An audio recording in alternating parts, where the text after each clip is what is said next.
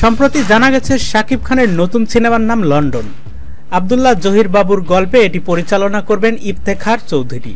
ইফতেখার চৌধুরীর ছবিতে শাকিব খান আগেও কাজ করেছেন। এবার দীর্ঘদিন পরে তিন নায়িকাকে নিয়ে শাকিবের লন্ডন শিরোনামের ছবির শুটিং শুরু হতে যাচ্ছে নতুন বছরের শুরুতে। নতুন বছরের জানুয়ারিতে দুবাইতে ছবির শুটিং শুরু হবে।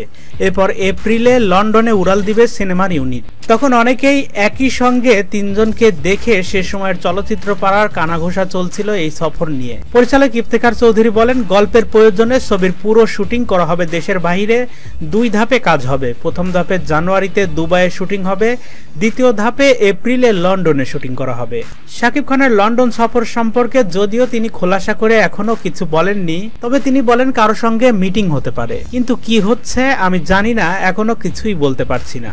তিনি আরও বলেন, সিনেমার কেন্দ্রীয় চরিত্রে থাকবেন শাকিব খান, তার বিপরীতে দেখা যাবে তিন নায়িকাকে। তবে নায়িকা সহ অন্যান্য চরিত্রগুলোর শিল্পী এখনও চূড়ান্ত হয়নি। খল চরিত্রে অভিনয় করবেন বলিউড অভিনেতা গুলশান গোভারের সঙ্গে কথা চলছে, তবে এখনও চূড়ান্ত হয়নি বিষয়টা। শাকিব খান তার নতুন সিনেমা শুটিং এর জন্য লোকেশন দেখতে সেপ্টেম্বরেও দুবাই গিয়েছিলেন।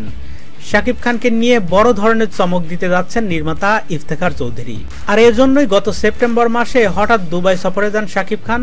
তার সঙ্গে ছিলেন নির্মাতা ইফতেখার চৌধুরী, চিত্রনাট্যকার আবদুল্লাহ জহির বাপু সহ আরও কয়েকজন। এদিকে শাকিব খান বর্তমানে বদিউল আলম খোকনের আগুন ছবির কাজ করছেন। প্রায় শেষের দিকে এই ছবির কাজ এফডিসির শেষ লটের শুটিং এর মাধ্যমে শেষ হবে দৃশ্য ধারণের কাজ। এরপর গানের শুটিং করা হবে। তো বন্ধুরা, শাকিব খানের নতুন সিনেমা লন্ডন। আসতে যাচ্ছে আগামী বছর। সিনেমাটি সম্পর্কে আপনার কি মতামত? কেমন হতে পারে এই সিনেমাটি? কমেন্টস করে জানিয়ে দিন আমাদের।